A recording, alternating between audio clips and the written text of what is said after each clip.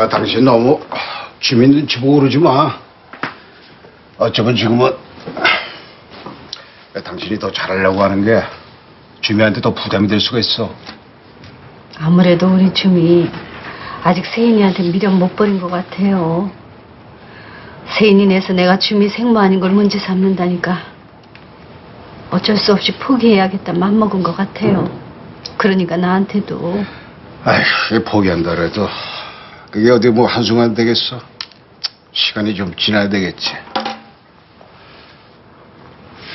아, 그리고 그 우리 매장 담당 직원 말이야. 주미한테 상의했더니 아, 주미는 그냥 이 고은님 씨가 담당하는 게 좋겠다고 하더라고. 그래요?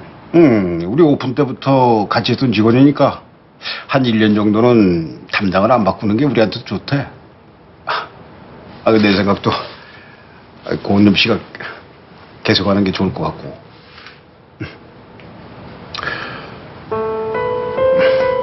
제가 알기로는 고은님 사원이 할머니 손에서 컸다고 하던데. 네, 여기 가족관계란에 할머님들만 계신 걸로 되어 있네요. 그럼 그 사원이 혹시 이세인 사원하고 같이 수습 받던 사원 맞나요? 예. 고은님 사원은 우리 회사에서 이번 봄에 처음으로 시행된 유가족 특례법으로 입사한 사원입니다.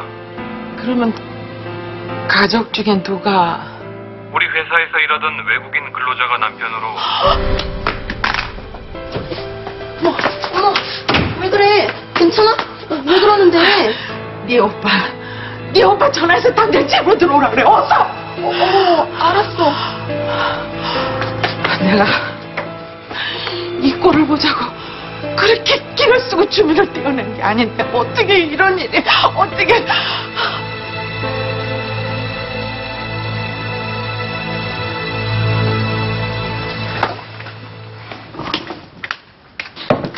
특별개발팀, 오빠 경영 수업의 일환인 거지?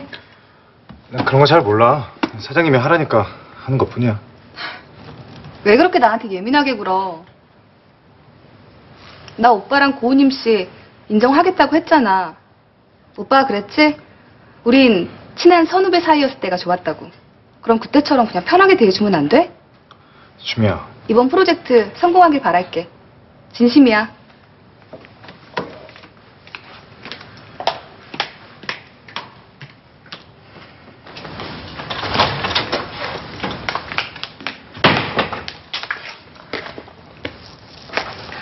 이세인 씨가 자료를 꽤 많이 준비한 것 같은데. 기대할게요. 수고해요.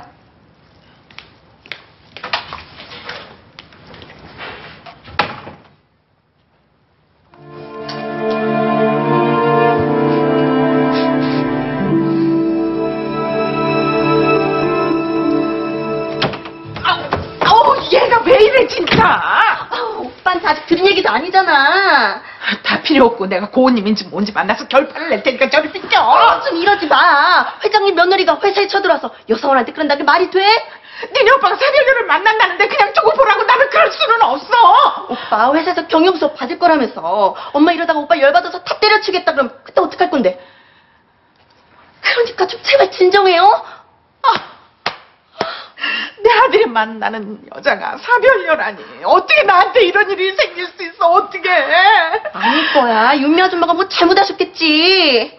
그렇지 주미 엄마가 뭘 잘못한 거겠지? 그래. 만약에 진짜면 누가 봐도 주면이가 훨씬 괜찮은데 오빠가 이상한 거지. 아우 세인아 이럴 때일수록 차분하게 생각해야 돼. 확실하지도 않는 일 갖고 괜히 오빠가 몰아붙이면 엄마랑 오빠 사이만 나빠질 수 있다니까. 그래 세라 네 말이 맞아 알았어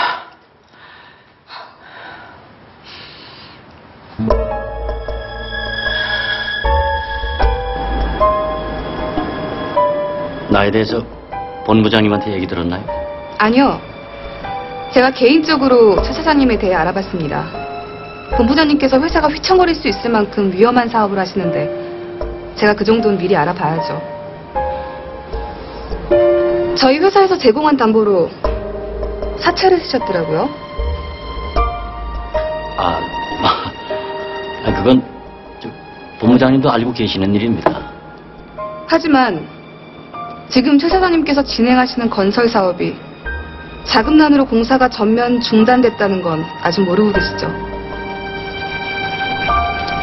최 사장님께서 얘기를 안 하셨으니까 당연한 일일 테고요.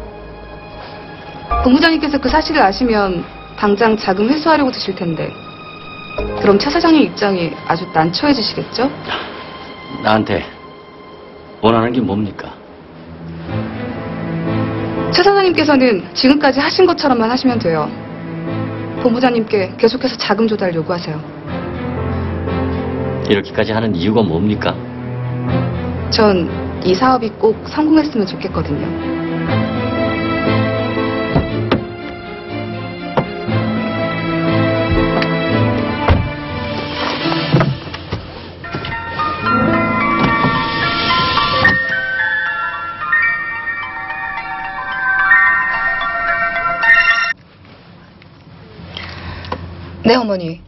너 오늘 우리 집에 좀 와줄 수 있니?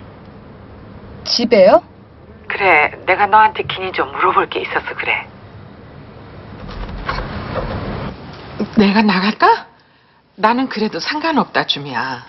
내가 오늘 너 만나서 꼭 확인할 일이 있어서 그래. 어머니 혹시 고은임 씨 일 때문에 그러세요? 그래, 알겠습니다. 지금 그쪽으로 출발할게요. 그래. 주미애가 이렇게 나오는 거 보면 100% 확실한 건데. 어? 얘를 어쩌면 좋아. 그래.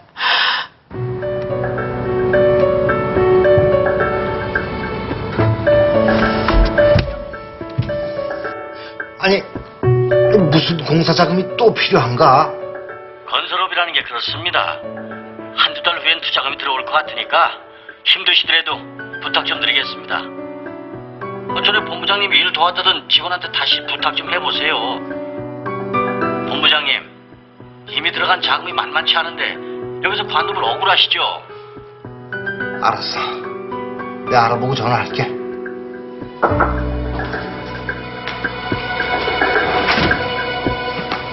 저 확인해 봤나?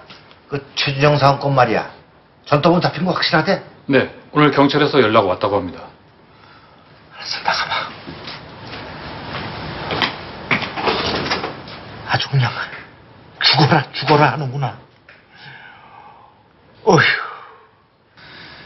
제가 혐의 벗었으면 된 거죠, 뭐. 일지가 조작됐다는 건 내부에서 의도적으로 준영이 널 위험에 빠뜨리려고 했다는 증거야. 그 부분도 명확하게 밝혀내야지. 전 그냥 아저씨가 이 정도에서 그만하셨으면 좋겠어요. 아저씨가 자꾸 제 일 신경 쓰시는 거 회사에서 별로 안 좋게 볼 거예요.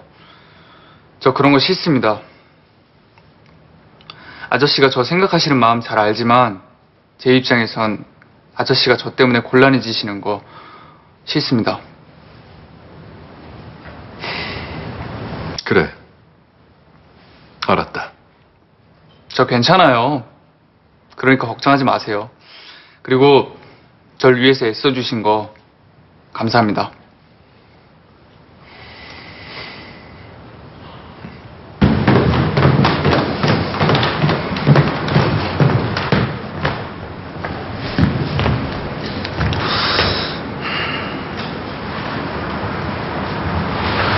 아저씨 배우로 본사 들어왔다가 너 생각나서 잠깐 내려와 할 얘기 있어.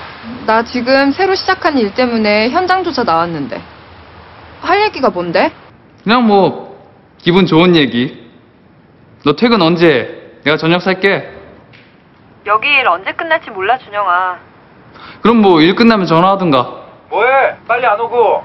알았어요. 준영아, 미안해. 전화 끊어야겠다. 어 알았어. 그럼 나 어떻게? 나 연락 기다린다. 어, 어, 나중에 통화해. 응.